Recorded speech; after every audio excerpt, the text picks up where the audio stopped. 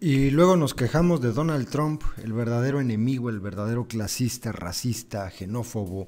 Está en el propio país. En México tenemos mucho de eso y podríamos incluso ser peores que el mismo Donald Trump.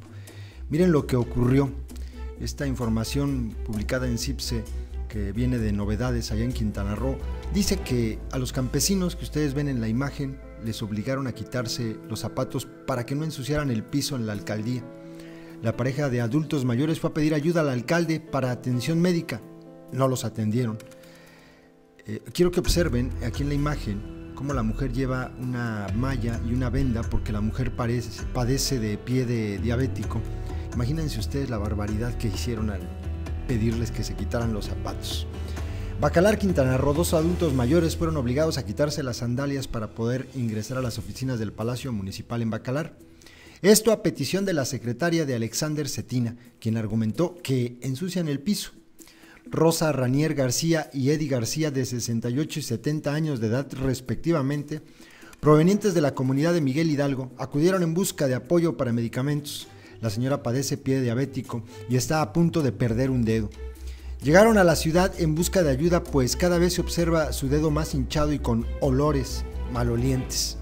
Solo me lo lavan con agua y jabón, pero no mejora, dijo la mujer. Eran casi las dos de la tarde y los humildes ancianos no habían desayunado, pues desde las seis de la mañana salieron de su comunidad con los malestares propios de la enfermedad a cuestas. Apelaron al sentido humanitario del alcalde, a quien fueron a buscar al Palacio Municipal. Sin embargo, al llegar, Vanessa Piña Gutiérrez, secretaria particular de Alexander Cetina Aguiluz, les pidió que se quitaran las sandalias porque ensuciaban el piso a lo que los abuelitos obedecieron sin objetar nada. Salieron de la oficina y depositaron sus casi acabadas chanclas en la puerta de la presidencia municipal para hacer antesala por más de una hora. Tras la larga espera y sin respuesta alguna, los exagenarios decidieron levantarse, recoger sus sandalias y regresar a su comunidad, con ayuda de unos conocidos quienes además de darles unas monedas para el pasaje los invitaron a comer. La señora Rosa tiene más de 15 días con el dedo hinchado desde que intentó cortarse una uña enterrada y se lastimó. La diabetes que padece desde hace varios años no le permiten curación. Es la misma enfermedad que ya le ocasionó pérdida del ojo derecho. La difícil situación económica que vive la pareja de ancianos le impide que tengan una atención mejor. En la clínica de su comunidad solo le dan remedios, según lo que señalaron.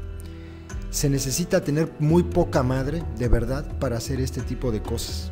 Muy poquísima madre. Volvemos a, decir el nombre de la secretaria particular del alcaldillo pendejo de ahí de Bacalar. Alexander Cetina Aguiluz es el alcalde y su secretaria, que seguramente vive entre algodones, la hija de su pinche madre, Vanessa Piña Gutiérrez. Son verdaderas pendejadas esto. Compas, compartan el video. Hay que tratar de hacer que cuando menos vergüenza les dé a estos desgraciados que están ahí para servir a la gente, no para servirse del pueblo. Pinches miserables, en serio. Ahí está. Nos quejamos de Donald Trump. Compartan el video, compas. Saludos.